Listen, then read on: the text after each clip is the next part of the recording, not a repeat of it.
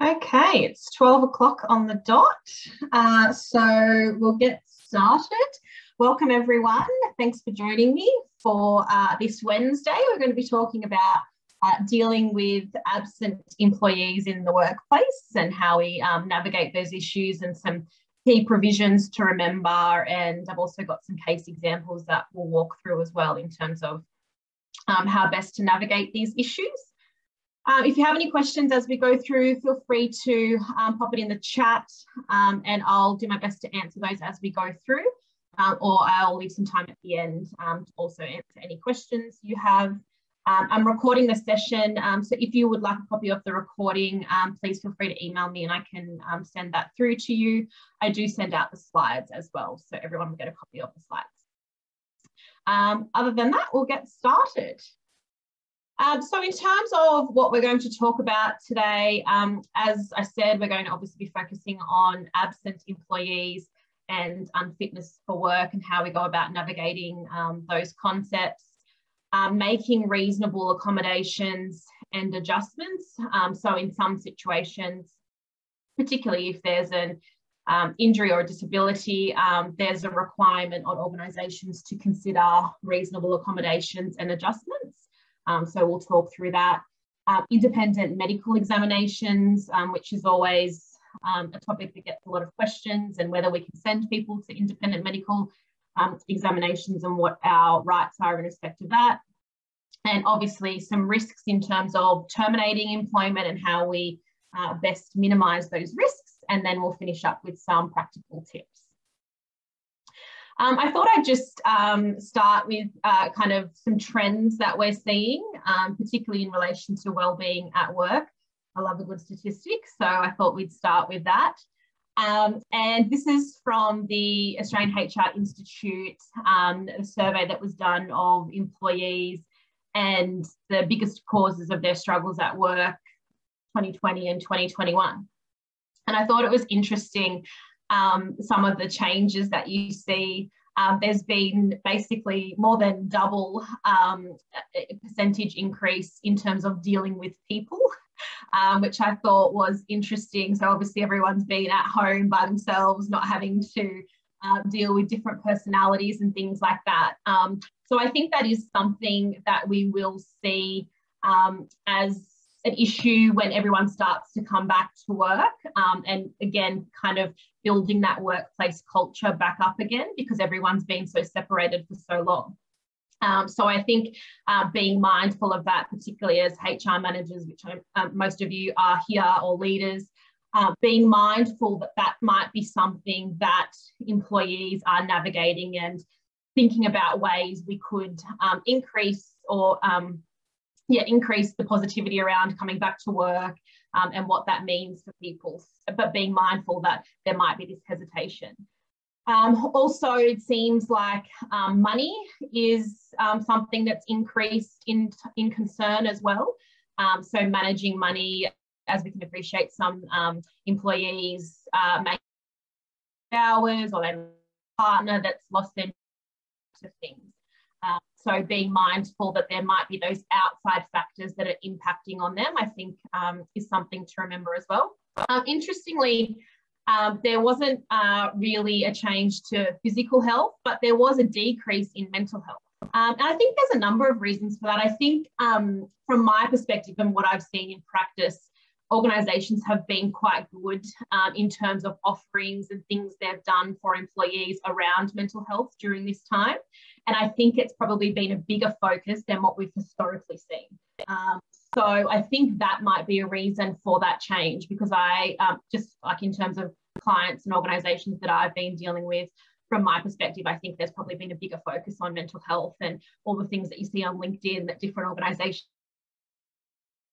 packages and things like that, that's probably not something that was historically done as much. Um, so I think that's perhaps why we've seen a decrease um, in that, but just being mindful that there are other things that have increased for people. Um, and again, thinking of ways we might be able to navigate or manage that um, and be mindful of that for people returning to work. I think that's going to be the biggest issue um, at the moment. Um, so when we talk about um, reasons that can lead to absenteeism and particularly uh, long-term absenteeism. I've got some um, examples on the screen there of common things that I see again um, in practice around when we have employees that are away for longer than a couple of days. Um, obviously, if there's an injury, um, that's going to impact on uh, people's ability to do work. Um, and uh, they might be on workers' compensation, for example. So that's something you'll have to navigate. Um, and again, a common reason for um, long-term absenteeism. Uh, another one that we see quite often is sexual harassment. Um, so again, um, particularly if someone's been subject to sexual harassment or alleges they have been, um, then that um, is usually a reason why they take some time off. Bullying, um, again, if um, they've experienced bullying. And I will say also that those people that are the subject of allegations, again, tend to also take some time off because obviously they will say generally, oh, I didn't do it or I wasn't aware. And again, kind of um, processing those allegations, you might generally find um, that they will take some time off as well. Um, then you can have non-work related injuries. So obviously if someone gets into a car accident or something um, on the weekend um, and that impacts their ability to come to work and do their job. Um, and performance management. So probably most of us here know the common situation where we start to performance manage someone and then all of a sudden they're sick and can't come to work or participate in anything. Um, and that's a tricky one to navigate because obviously um, you generally have medical certificates that are giving you information that say they can't, they're unfit for work. Um, and then it's a matter of, well, how do we go about that performance management process? Um, obviously, we can't do that while they're not at work. So that's always um, a difficult one. But I think when you look at those um, different um, reasons on the screen there, there's ones that we can navigate and deal with quite easily, I think. And then other ones where it becomes a bit more tricky, like the performance management one I was talking about. Um, uh, particularly managers and things like that tend to get a bit um, concerned around what that means, and it might lead to a bullying claim if we continue to press the performance management issue, things like that. Um, if it's a sexual harassment or a bullying situation, we might quickly um, by doing, for example, if we say that an investigation is needed, we might be able to get through that pretty quickly, get it resolved. Hopefully, the parties um, can come to a resolution, or there is some disciplinary action if we do find there was a bullying um, allegation that was proven or sexual harassment, and we can get employees back to work pretty quickly. Um, and then, obviously, the injury or illness one is very dependent on what those injuries or illnesses are. So, someone might break a leg and they're off for a couple of weeks or six weeks and then they can come back to work or they can do work from home, those types of things. And then there's obviously other illnesses, injuries, which are going to have a longer term impact. Um, so I think really understanding the reasons um, that can lead to the long term absenteeism and probably having some kind of plan in place around how we deal with these different things that might arise, I think will allow us to more easily deal with them and guide our managers and leaders in terms of dealing um, with employees who have these types of absenteeism. Because again, in practice, what I find is that managers kind of get annoyed as soon as employees are off and are like, well, what am I meant to do now? I don't have someone doing this job. Um, and again, if we can kind of guide them and say, well, we have this process in place, this is how we deal with this type of situation, um, then I think that's something that we can do to benefit them because they're kind of not already on the back foot or have a negative attitude to the absenteeism.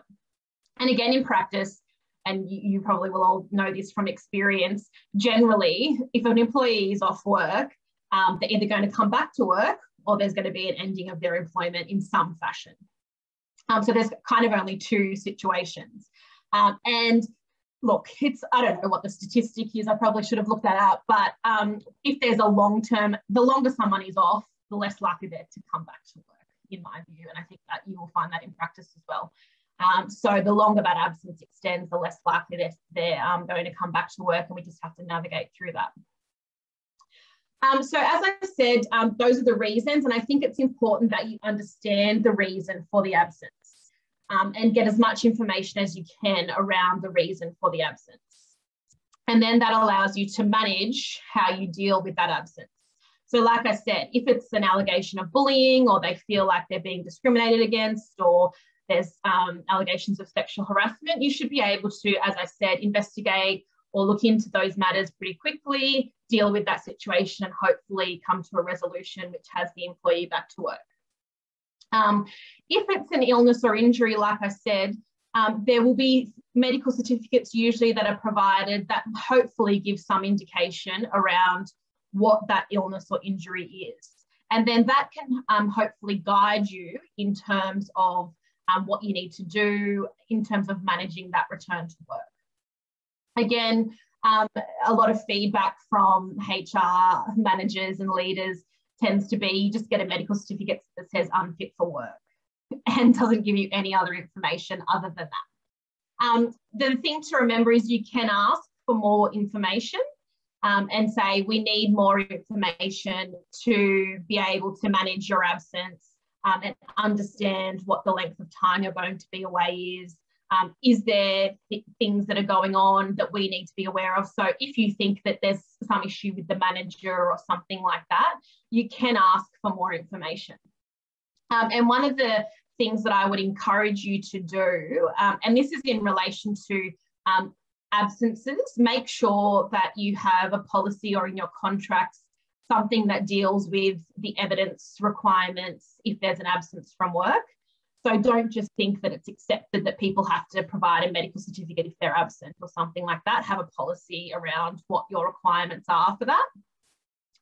Um, and also think about having a, clause in your contract or a policy around independent medical assessments. And we'll talk about that um, a bit later on. But again, having something in the contract that gives you, as the employer, the ability to send someone to an independent medical assessment and it's in the contract is much easier, in my experience and practice, to get an employee to do that if they've agreed to that in the contract, rather than relying on an implied um, duty for them to obey that direction. And I'm not saying you, that that isn't there. You can still direct an employee even if there's something not in the contract, but it just in practice is much easier for an organisation to be able to point to that clause and say, well, here's where you've agreed to attend the independent medical assessment, and we now require you to do that. Um, so gather as much information as we can around understanding the reason for the absence. And there might be personal circumstances that are going on for them, um, and they might not want to divulge too much around that, but at least understanding that it's not something that's related to work because again, um, as an employer, you'll have obligations um, from a number of perspectives in terms of if it is a sexual harassment or a discrimination thing, um, we have obligations in respect of health and safety of employees at work. So if we know it's not linked to something that's work related, then we can again navigate that perhaps in a different way to what we would if it was an allegation of harassment or bullying. Um, oops, sorry. Um, and talking about needs to be considered managers. So that's why I think having some type of plan or at least guidance about how we deal with employees being absent from work is good for managers because again what i find is generally they're like oh someone's off work. I need to navigate that and that's really annoying and it's kind of that negative attitude. Um, so again having a way that we deal with it um, and providing our managers with that guidance i think is good. So finding the cause managing that cause they might have to find someone to do that role for a period of time. And again, assisting them with navigating that. Communicating with the absent employee is particularly important. And I think um, you should consider who's going to do that communication. So don't have five different people communicating with the absent employee pick one individual who's going to be that point of contact for the absent employee. So they're not getting mixed messages and they're not getting a text message from the manager and then some chase up from HR, particularly if they're off work because they're saying their mental health is not great or things like that. Getting 500 messages is not going to pro probably um, assist with that. So think about how that communication is going to happen um, also, um, for the manager's perspective, there's probably going to be someone who has to manage their emails or their duties. So again, having some process in place to deal with that. Um, and also thinking about communication with other employees. Uh, because again, sometimes the rumour mill starts around why an employee is absent. Um, again, kind of having a communication to employees that someone is just off sick um, or whatever the communication is, just keeping that consistent as well is particularly important. I think, um, and tends to stop that rumour mill. Um, and again, if it's personal situations and things like that, we don't want to be divulging that type of information. Um, but not saying anything in my um, uh, uh, experience tends to just incite that rumour mill and people come up with all kinds of wonder, wonderful ideas as to why someone's off sick. Um, so again, how you communicate that, and obviously if they're client facing or have customers, um, how we communicate that to customers and clients as well. Um, the thing to remember, um, and so now we're going to talk about kind of what the entitlements are and how we should um, be mindful of those entitlements when we're dealing with an absent employee.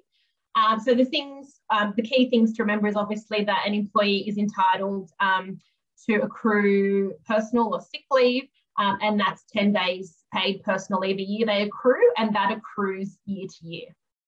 So if they don't use it in the first year of their employment, doesn't automatically, oh, it's too bad you haven't used it and you start from zero again the next year. It accrues year to year. Um, and it's 10 days. Um, so an employee service will obviously build up the amount of personal leave.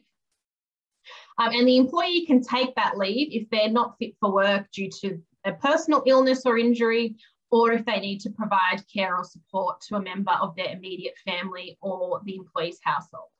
And obviously, as an organisation, you can have more beneficial um, entitlements than this, and a lot of organisations do. They'll give more personal leave um, or sick leave, carers leave, things like that. Um, but these are the minimum entitlements under the NES. And the legislation is quite specific that you can request evidence when that employee is taking that personal leave. So that's why I'm saying think about what the evidence is. Usually it's a medical certificate or a statutory declaration that you want from an employee in relation to an absence and the situations in which you would want that um, medical evidence. So is it for every absence, even one day, or is it if the absence extends beyond two days, or it's either side of a public holiday, something like that. Um, the uh, you'll be surprised at how many people try to take personal leave for care of animals and things like that. Um, that is not something that's provided for under the Act. Um, obviously, again, some organisations have leave policies um, that cater for those types of situations outside the norm, um, but generally it's just for personal illness or injury um, and to care for um, or support a member of your household or immediate family. Um, so an employee, if they have accrued personal leave days, is entitled to take those personal leave days. Um, so just say they've worked for four years, never taken a sick day in their life, and then suddenly they get really sick with influenza or something like that. If they have 40 days um, personal leave accrued, they're entitled to take that personal leave. And you cannot terminate the employment because they're taking that personal leave. That'll be a breach of the Act. Um, and be very mindful of communications that goes on between managers and HR and things like that during that time. Um, so I had a matter where um, it was a relatively small organisation um, and it was a younger employee um, who was kind of milking it, the employer thought, um, in terms of their uh, illness. Um, and he took a couple of days off and there was text messages basically saying, can't believe you're taking another day off. You've taken the most days off of anyone that I've ever employed, things like that. Um, and so eventually the employment of that individual was terminated and unsurprisingly that employee commenced a claim um, saying that the reason they were terminated was because of their personal leave. Now that was not the reason for the termination. They actually engaged in conduct and performance issues um, that led to the termination. But the fact that those emails or text messages existed didn't help that employer's position because obviously the employee was able to produce um, that and say, well, they clearly weren't happy that I was taking the personal leave. Um, and so I say that that was a reason for the termination of my employment. Um, so just be mindful again of conversations or messages, particularly in writing, emails, things like that, that happen um, around people's views on um, employees taking leave. Um, and that brings me to the next concept, which um, is always talked about again when employees are on an extended um, absence, and that's this concept in the legislation, the Fair Work Act, um, that talks about a temporary absence from work due to illness or injury. So what it says is that an employer can't dismiss an employee um, because they are temporarily absent from work due to illness or injury. Um, that period or that temporary absence is three months um, or a period of total of three months, any 12 month period. And it also um, can't be a period where the person is on paid personal or carers leave. So if they're getting paid leave, um, it can't be that period. Um, so again, you might have an employee that has quite a um, substantial personal carers leave um, accrual there. They will generally take that first. Um, and so that initial period when they're on paid personal carers leave doesn't count towards that three months. And there's been no decisions on this, but again, the general um, view is that all that's needed in that three month period is that a portion of it not be paid leave. So if the three months, um, once we get to that three month mark, just a portion of that has to be unpaid leave. Um, some organisations don't take that risk and they wait for the whole um, three months to be unpaid leave before they consider a termination. Um, but that's the general um, consensus, and there's been some cases under the previous legislation that we had that said it's just that in that three month period, a portion of that has to be unpaid. Um, and so the legislation says yes, you can't terminate an employee because they're temporarily absent from work due to illness or injury, which in that example I gave you about the client I had is the um, provision that they relied upon to bring a claim. Um, but that's not to say that you can't terminate them for performance issues or things like that. Um, it's just that the absence, the temporary absence, can't be the reason for the termination. Um, so be mindful of that as well. It's not saying that you can't possibly terminate the employee at all. It's just that the temporary absence cannot be the reason um, for the dismissal. And so uh, in the, that example I gave um, to you, um, that's what we were saying in that case, that it wasn't anything to do with the temporary absence. It was the performance and the conduct that that individual had engaged in that was the reason for the termination. And as I said, obviously the things we had in writing didn't help. Um, another thing to remember is the, this duty of care. So obviously from a work health and safety perspective, employers have an obligation to ensure the health and safety of their employees as far as reasonably practical. Um, so sometimes what we see is, and this is less so now given the protections that we see in the Fair Work Act um, and workers' compensation and um, discrimination avenues that people have available to them, they might say that you are um, breaching my duty of care, the duty of care that you owe to me um, in terms of the environment that you're creating um, and you're not meeting that duty of care. So just remember that we do have that underlying obligation as employers in terms of the health and safety of our employees. Um, and so that's, for example, in making sure that um, the forklifts, people are driving forklifts and they have licenses and we've got the correct scaffolding up, things like that, if it's a construction site or um, things like that. Another um, concept that you hear quite a lot about is inherent requirements. And so this comes up in a situation generally where an employee has sustained an illness or injury. Um, and we are trying to ascertain whether they can perform the inherent requirements of the role. Because if they can't, that is a reason for the termination of their employment. So if they can't perform those inherent requirements, we can say we've considered what the these are the inherent requirements of the role We've considered any accommodations or adjustments we could make to the role that would allow you to perform the role. And unfortunately, there's nothing that we can do if that's the case. Um, and therefore, you can't perform the inherent requirements of the role and we're terminating your employment. Um, and interestingly, this um, reason has been relied upon in a couple of the recent vaccination decisions we've seen um, in, in relation to certain industries obviously having to be vaccinated and having to come to work vaccinated to do your job is an inherent requirement of the role. So some employees have relied on that inherent requirement um, concept to terminate employment in those circumstances.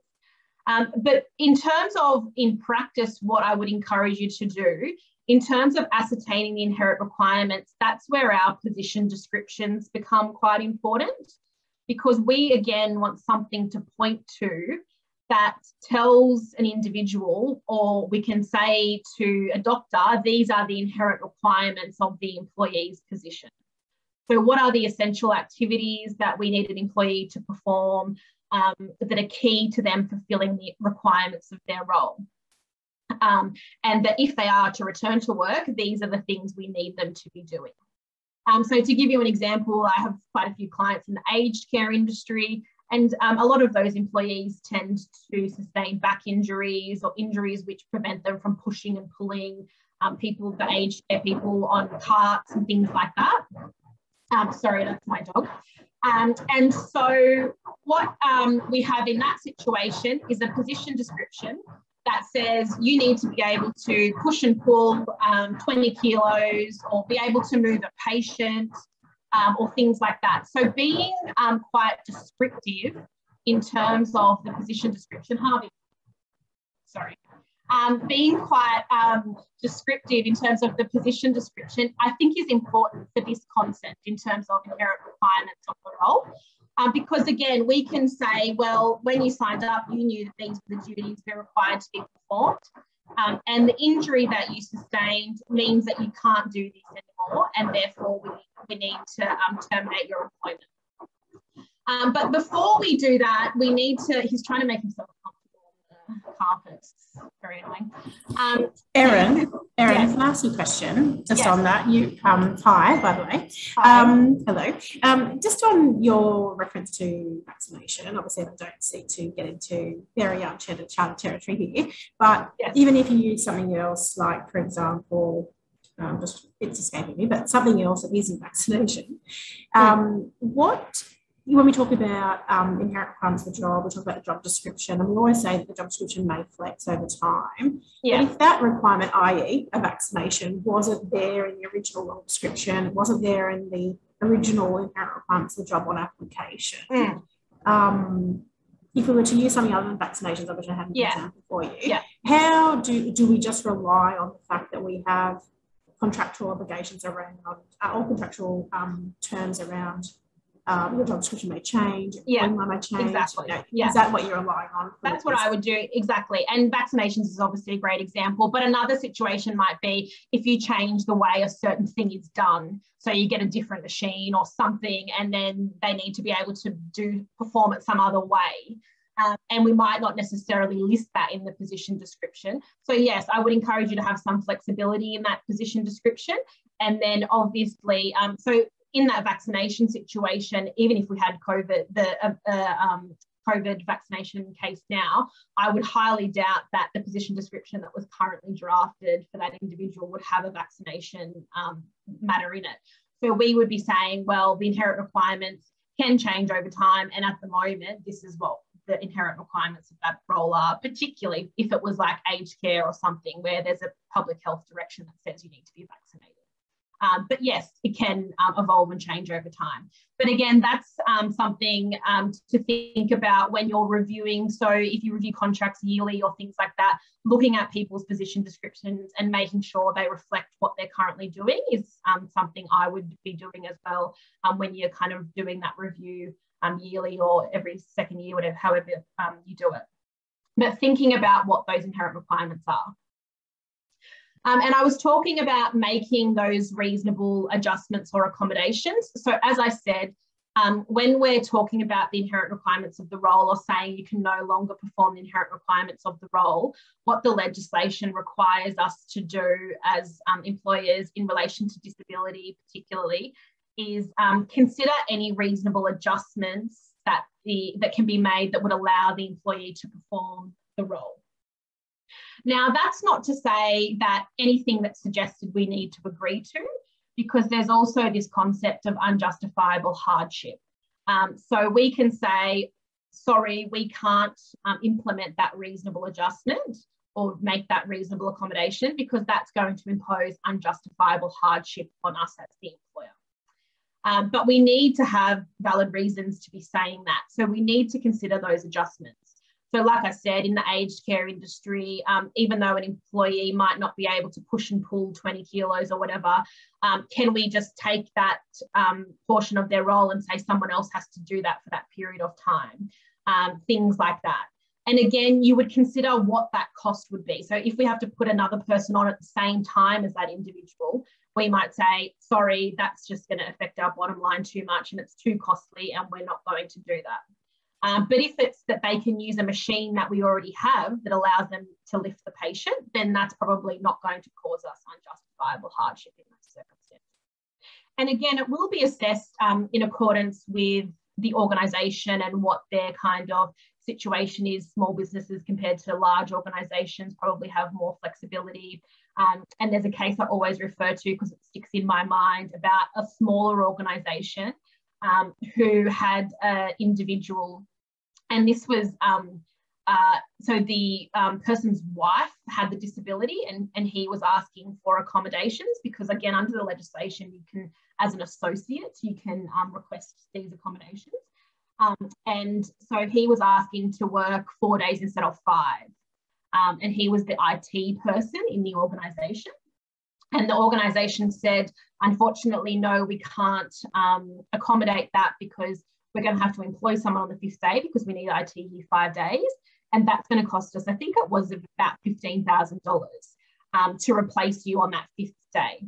Um, and that's going to cause us unjustifiable hardship. And that was upheld as a valid um, reason in terms of the employer. So the employer was allowed to say that, and basically they got up on that unjustifiable hardship concept. Um, so, and again, 15,000 to a small organisation is quite significant compared to potentially a larger organisation that has a bit more cash flow, things like that. Um, so it will be assessed on that case by case basis. But in terms of those reasonable adjustments, it could be flexibility in the hours of work, work like that example I just gave, uh, or providing um, time off in terms of part-time work for them to recover, um, or providing breaks if they have um, pain or fatigue. Um, if they have an issue with their back, it might be that we give them a standing desk, things like that.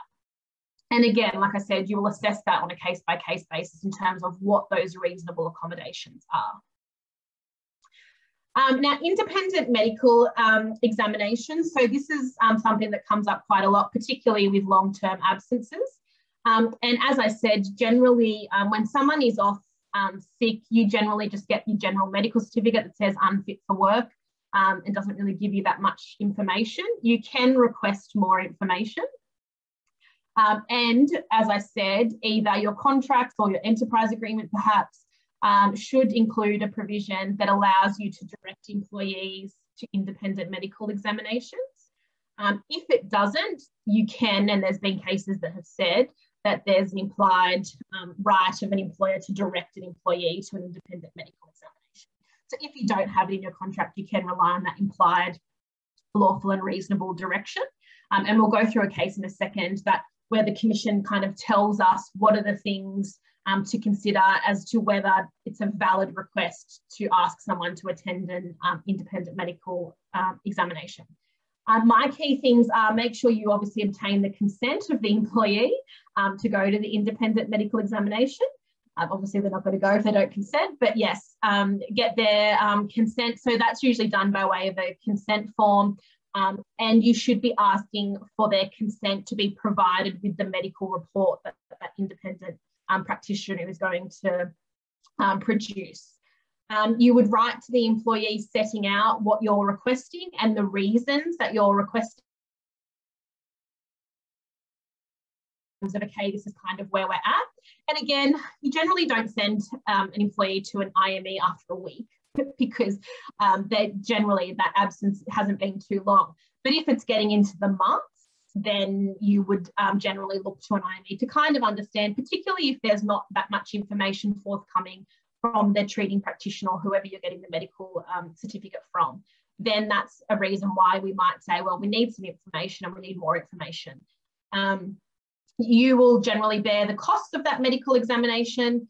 Um, and then depending on the um, outcome of that independent medical examination, you might decide if you need further information. So do you need to send it to someone else because the report might come back saying, I was limited in terms of I'm only a psychologist and you need a psychiatrist or something like that. So again, um, being mindful of what the report tells us in terms of any additional information that we need. Because what the commission will say if we, for example, terminated their employment um, and they bring a claim, they will say, well, did you have enough information or what information did you rely on in making your decision? And if the independent medical examination says, I think you should do X, Y, and Z, and you didn't do that, that's not going to look great in front of the commission.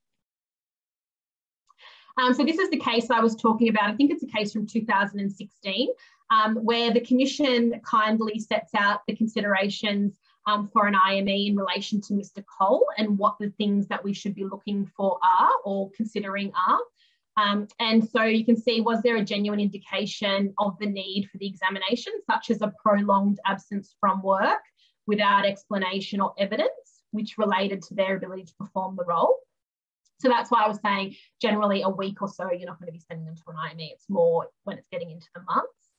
Um, has the employee provided adequate medical information which explains the absence and demonstrated the fitness for duty?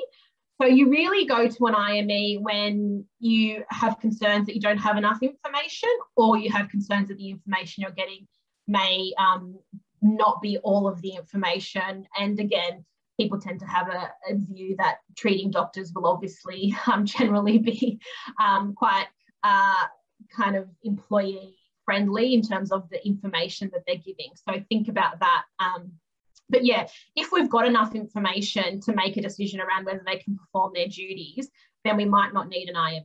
But that's generally not the case. When we're considering IMEs, we're usually saying we don't have enough information. Um, is there legitimate concerns that um, the illness or injury would impact on others in the workplace, or do we have a particularly dangerous industry? Um, obviously, did they agree to the assessment? Um, so in some situations, um, employers, employees will say, no, I don't agree to go to the assessment with this practitioner, but I'll go to X, Y, and Z. Um, again, and as long as they're independent, I think you can consider you should consider that in terms of an alternative that they're willing to go to. Don't just say no, it has to be this one and only this one.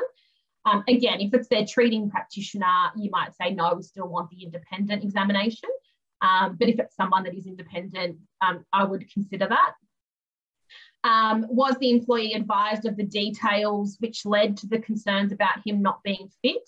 Um, so again, the prolonged absence, the inability to return to work, um, obviously what the role is will be um, important there as well in terms of we need to understand. So if you're saying you're unfit for work and that's all we have, we have no idea what that means in terms of you returning to work.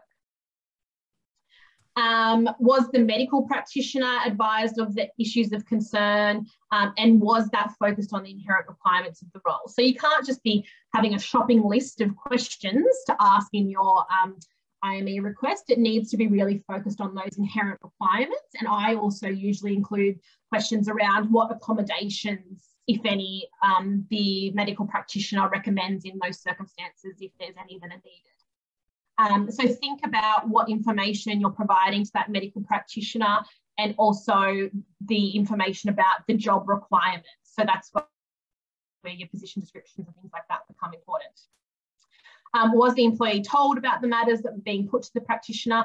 So again, what I normally do in practice is write to the employee, say we're, seeking your consent to go to an IME, um, and in, I include a copy of the letter that we're proposing to give to the IME so that the employee is very well aware of what we're going to be asking. And then again, the last thing is, was the assessment truly aimed at determining independently whether the, the employee is fit for work? So as I said, it can't be like a situation where it's a fishing expedition and we're really just trying to find a reason to terminate um, and there's no valid reason for asking these questions or sending them to an IME in those circumstances. Um, so I think that's a really good list from that case in terms of things to consider when we're considering sending someone to IME. Um, this is a case um, where the employee refused on a number of occasions to go to an IME. So I always get asked the question, if someone doesn't go to an IME, can we terminate? Um, the answer is yes, because they're failing to follow a lawful and reasonable direction. Um, but I probably wouldn't terminate on the first occasion that they fail to do that. You would give them a couple of chances to go to the IME and then write to them and say, you failed to attend the IME on however many occasions, they're considering terminating your employment. What do you say about that type of situation? And that's exactly what happened in this um, RMIT case. Um, so this employee had 26 years tenure, so quite a long period of time that she's been employed. Um, and um, the dismissal was upheld in this case. So it, generally you tend to think that um, if the employee's got a long period of service, you're kind of on rocky ground in terms of terminating. But this um, lecturer was so insubordinate that basically um, the dismissal was upheld. So she refused to undergo the medical assessment on numerous occasions. Um, and the Fair Work Commission basically said she took all steps to um, prevent the, um, the uni from ensuring that she was able to perform the role or return to work following an extended absence. And they said that the um, decision to dismiss her was soundly based and defensible. So they provided multiple opportunities for her to provide medical evidence and was also flexible, lenient, and willing to accommodate alternatives so that she could demonstrate her fitness. So that's why I'm saying don't just say, oh, we can terminate on the first occasion that they don't attend the um, IME. We need to get some information or indications why they don't want to do that. Do they have any alternative suggestions? Um, and one of the arguments that this lecturer said was she took the, so she actually went um, to, she went to the appointment, but the, the documents that she had ready to hand over were the wrong documents and she knew that. Um, and she's like, well, you can't terminate me because I attended. And again, the commission is like, you knew going there that those documents were wrong and you weren't going to be able to undertake the assessment. So you can see that conduct clearly. Um, she didn't want to do the assessment, and unfortunately, not all cases are as clear cut as this one. Um, but the key takeaways from this case are those multiple um, requests to attend the assessment, thinking about alternatives, what we can do to get them to the assessment. And then if they really are kind of just putting up all the walls, then we can move to terminate the employment. Um, and I would do a show cause letter in those circumstances saying, this is all the background, you haven't attended on these occasions, we've offered these alternatives. We're now considering terminating your employment because you're failing to follow that direction. Um, we're giving you an opportunity to say why we shouldn't terminate your employment in those circumstances particularly if they have access to unfair dismissal jurisdiction, but also general protections. Um, so in terms of uh, these long-term absences, as I said, I think um, the communication point is key. So um, what I find sometimes is that organisations just kind of sit back and allow medical certificate after medical certificate to be submitted and they don't do anything about it. And sometimes it's because it's a big organization and the medical certificate is just going to the manager and the manager just lets it go on and on. And then um, what happens a lot of the time is a new manager turns up and's like, what's going on with this employee? They haven't been to work for the last 12 months or something like that. Um, so stay on top of the absence. So um, be communicating with the employee. Um, sometimes you'll have employees um, that say they don't want to communicate. Um, again, be mindful of that, but but there's nothing to stop you. So again, you just need to kind of navigate that in terms of what the actual medical certificate says. Um, so if it says they can't talk about work, then they might be still able to communicate about going to an IME, things like that. But they don't want, if it's a bullying or harassment thing, they might say, I don't want to talk about that, but I can do this. Um, also, um, if you do want them to attend a meeting and the medical certificate says they're currently unfit for work, um, sometimes what I encourage employers to do is get um, consent, or if they're asking for a meeting, get um, the medical practitioner or the treating doctor to say, yes, they're fit to attend XYZ meeting. Because you don't want a situation where they say, I attended the meeting and that exacerbated my illness or injury. Um, as I said, understanding the underlying issue because there might be easy fixes to these things. Like it might be um, that they feel like they're being bullied by their manager, which may not be the case, or it might be the case. Um, but we might be able to move them to a different team or have them in a different area, things like that, um, which is an easy fix and can be easily done and mean they don't have to be on an extended absence for five or six months. Um, so think about those types of things and really trying to understand what the underlying issue is um, so that you can help navigate that. Um, and also, if it is a personal issue, thinking about do we have like an EAP or something like that that we can offer um, the employee to help them kind of navigate those issues, um, things like that. Um, as I said, generally it's either they return back to work or there is a termination.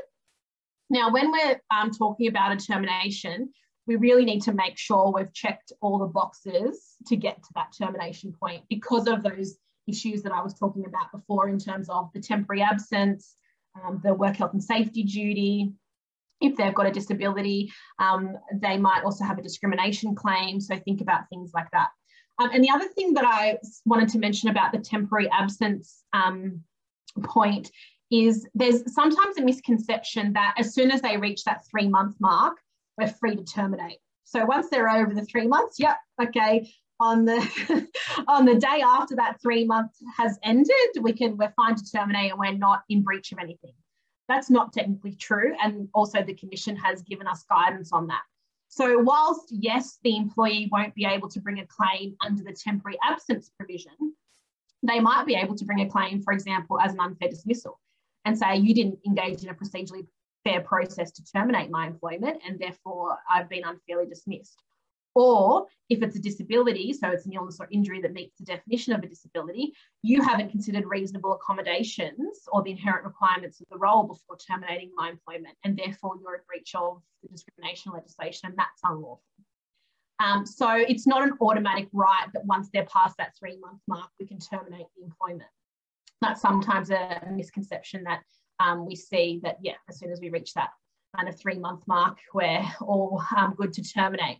So, in terms of considering the termination, think about the medical evidence that we have and make sure we've got enough medical evidence to be able to make a decision that we say that they can't perform the inherent requirements of the role or that the illness is going to extend for a, such a long period of time that we can't accommodate that or make that reasonable adjustment.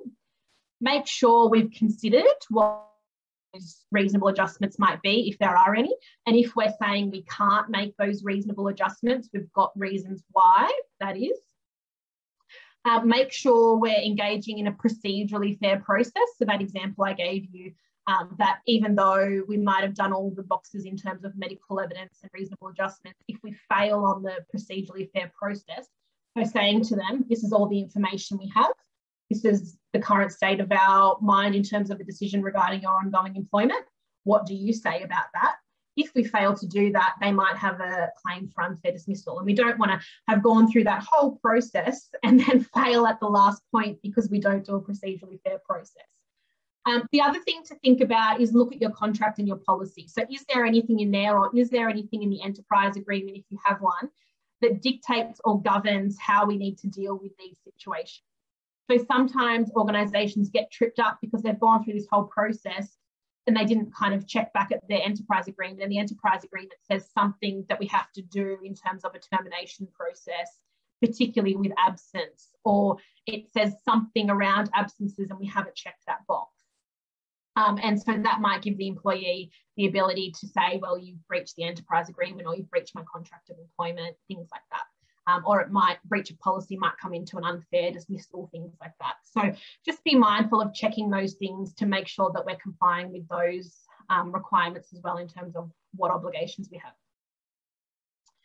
Um, in terms of the claims, as I talked about, you might have an unfair dismissal claim, but in my view, if you go through that procedurally fair process and we can establish that there's um, medical evidence that shows they can't perform the inherent requirements of the role, you're going to be pretty solid on an unfair dismissal.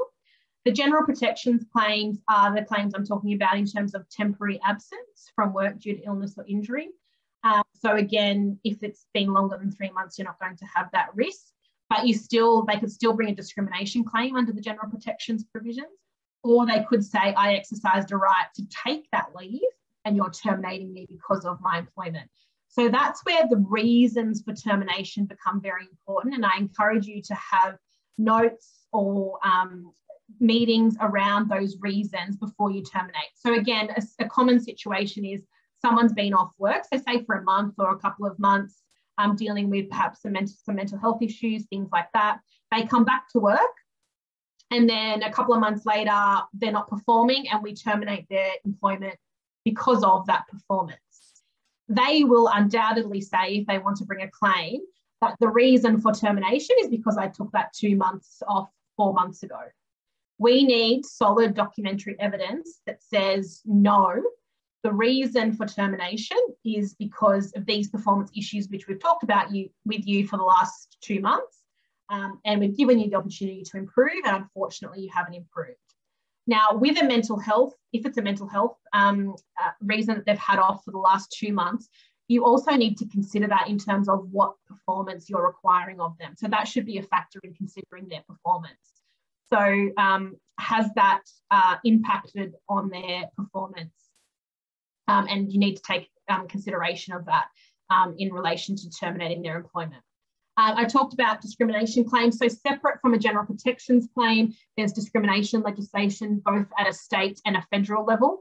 Um, so again, if we can show that they can't perform inherent requirements of the role um, and we've considered those reasonable adjustments, then the termination is unlikely to be unlawful, but we need to go through those steps. Um, workers' compensation claims. So again, that's just part and parcel of unfortunately having employees. You will have situations where um, an employee brings a workers' compensation claim. Again, um, if someone does have a workers' compensation claim or is on workers' comp, um, and again, I'm not a workers' compensation lawyer. There's lawyers that specifically do workers' comp, but um, again, a general some general feedback that I usually get is, oh, they're on workers' comp, so I can't terminate their employment. Again, that is not technically true. So what the workers' compensation legislation says is, in New South Wales, I'm talking about, and that's state specific. Um, it says that you, in the first six months of someone being on a workers' comp claim, you can't terminate their employment because of the workers' comp claim.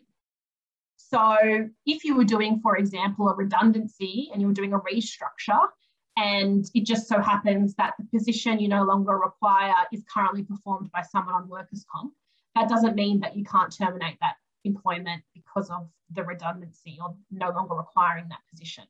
Uh, it would be in breach of the legislation if you did just terminate them and say, we're terminating you because you've commenced a workers' compensation claim.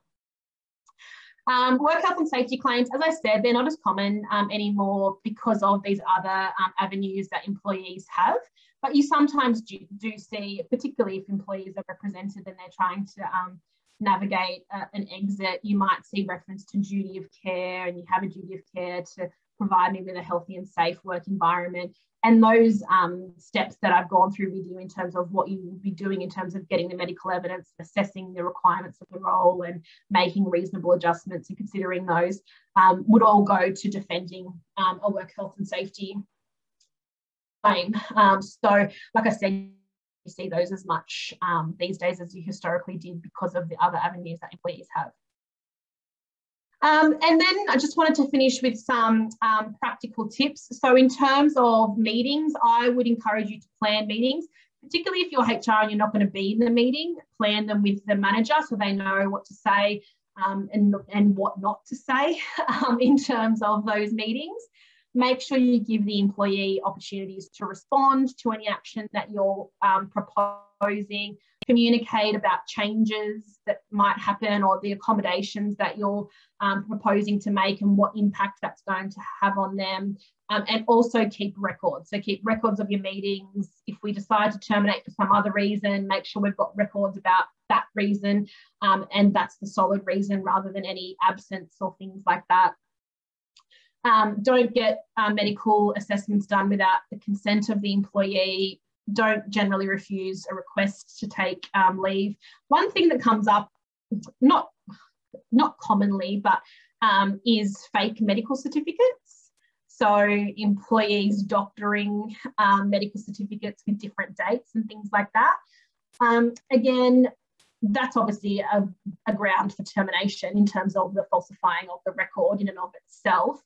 Um, and generally, what I would encourage you to do is contact the medical um, practice that's listed. They generally won't be able to give you too much information. They'll say we can't because of patient confidentiality.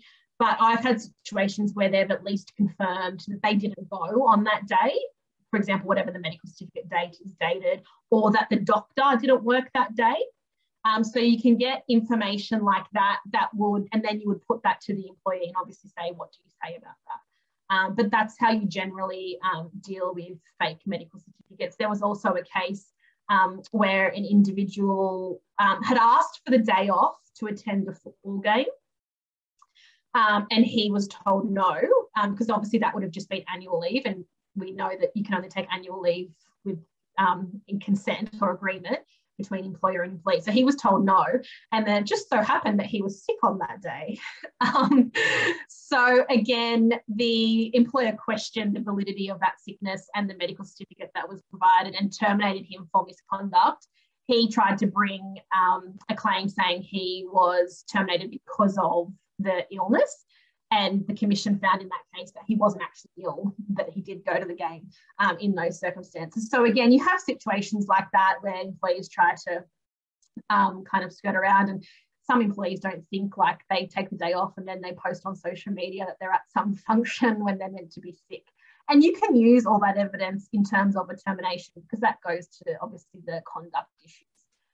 Um, so, but generally, if there's a legitimate illness, don't refuse an employee's um, personal leave. Um, don't refuse generally to pay for independent medical. That's something that we incur as employers. Um, don't take irrelevant considerations into account when deciding um, about an employee's employment. So if it's not related to the inherent requirements of the role, so if, for example, um, you get something back in the IME that says 30 years ago they had an issue with their knee or something like that, and that has had no impact on their ability to perform their role to date. You can't suddenly rely on that and say, oh, we're terminating you because you didn't um, tell us about that and that's a risk or things like that. You would need to assess that and say, what's the impact of that? Does that have any impact on your ability to do the job now? Um, and if it's irrelevant, you can't um, use it. Also, if they, for example, disclose they and again in the IMEs you usually get information about their history like if they ask about drug use and things like that. So again if it says they recreationally used drugs 30 years ago not relevant to your decision to whether they stay employed or not. Um, and also don't just sit there and think you have to go through the process alone. Um, so speak to others. If you have a HR team um, speak to other people or if you have um, a lawyer that you typically use speak to them or um, if speak to the IME around what um, you think that is needed, they usually will speak to you as well. Um, so just don't sit there and think, oh gosh, I've got to navigate all of this. And I would also um, communicate that message to your managers and encourage them to come to you when they've got these issues because it's easier to navigate with the two of you or the team working together rather than um, generally leaving the manager to their own devices because that's when you generally have longer absences that haven't been managed well um, in those situations. So it's about communicating to your managers that you really want them to be talking to you um, along the way and managing that absence. Um, I think that's it in terms of what I had to cover. Hopefully you found that helpful um, in terms of things to think about. Um, again, it's not an easy thing. Um, if it's if it's an absence that's just a couple of weeks, generally you'll have those people return um, and it's just that they needed time off or things like that. Um, it's those longer term absences that really become the issue, and it's about staying on top of those absences and knowing what we can and can't do in those situations, um, and thinking about how we can kind of proactively take steps to deal with those situations by looking at what we've got in our contracts and having a plan in place about how we deal with these things, putting a diary entry to follow up. So I have a matter at the moment where we're getting a medical certificate every month and we have like basically a diary entry the week before to say, okay, what are we doing? Do we need to do anything different for the next month? Do we want the employee to give us any more information, things like that? So you're not just letting it fall by the wayside. Um, any questions from anyone? Yeah, hey, Erin, I had a real quick one. It's just Ben Hughes Hi, Ben. from yes. Baker and Probert. How are you doing? Right, good, thanks.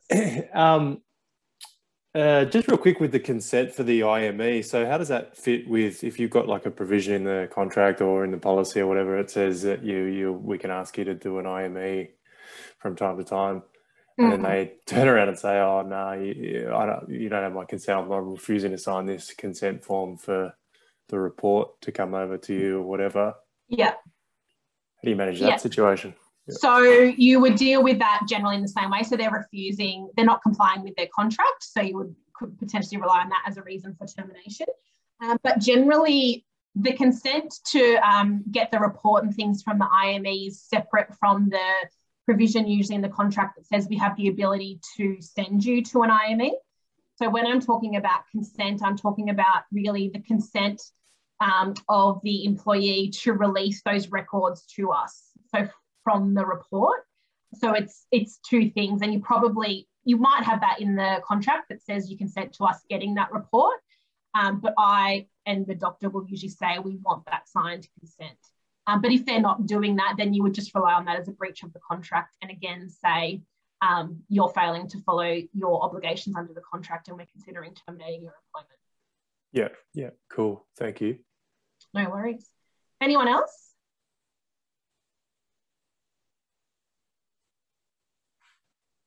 Okay, well, thank you very much for joining me. As I said, if you would like the recording, just send me an email and I can shoot that across to you.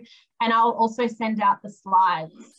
Enjoy the rest of your day. Can I ask one question? Ask yeah, one question. Sure. Yes, please. Hello. Yes. Sorry, sorry. Um, thank you very much for the presentation. Not a problem. I'm not sure if this is the appropriate forum, but um, can can you give any guidance at the moment in regards to um, uh, safety and welfare of staff in an office in regards to the current COVID crisis? Oh, Peter. Or is, um, is that off the, off the planet at the moment? Oh, that's a million dollar question, Peter. um, exactly. So you, no one, yeah. no one can answer it. No one no. can answer it. Um, so again, are you talking about getting people to come back to the office and also having unvaccinated people in the office and relying on the health and safety obligation? Yes, absolutely spot on. And uh, I just got off the health minister's uh, assistant, and the answer was, "Oh, well, in your circumstance, you better wait till the first of December." And I said, "Yeah, but in between now and the first of December, if I have a couple of deaths in my office, what do I do with the bodies?" Yeah, you know, um, yeah. It's really it's it is a bloody mess. Excuse my French. And everyone says now you know, there, there's nothing mandated. There's nothing no. mandated by anyone, particularly in this regard. And it, and above everything else, it is one of the most crucial issues right now for every one of us in an yeah. office arrangement. Yeah, and I don't and think we can't seem to get some answers. No. Um, so the reason they're saying the first of December, I think, Peter, is because of that um, the recovery plan, and from the first of December, as I understand from that recovery plan, and again, it's not in any public health direction yet um, that you can return that's at the employer's discretion about return to work and there's no um, restriction on vaccinated versus unvaccinated that's why they're saying the 1st of december my Correct. understanding my understanding is Correct. that before that to go back to the office they're saying again if you can work from home you should um, and also i think there's a restriction on vaccinations i'm not sure um, or only vaccinated people coming back to um, the workplace. My view is you can um, rely on that work health and safety obligation um, in terms of saying, unless you're double vaccinated, you can't come back to the office. Um, after the 1st of December, I think you're going to have issues around maintaining that, um, given what the government has issued in relation to that. Um, and I think people would have a hard time. Unfortunately, if someone died, that's going to be quite um, horrendous in any event, but I'm not sure there would be any claim against um, the organisation in that respect.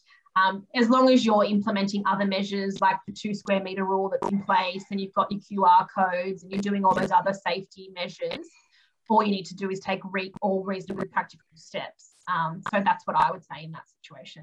And there's no easy answer, Peter, unfortunately. No, no, I just wanted to make sure that I'm not the only one going nuts here. You've just oh, confirmed oh, no. that I'm not, and I really yes. appreciate it. no, thank you so much. We're all nuts. Thank together, you. okay, thank you everyone for joining. I'll put my me. mask on now, okay?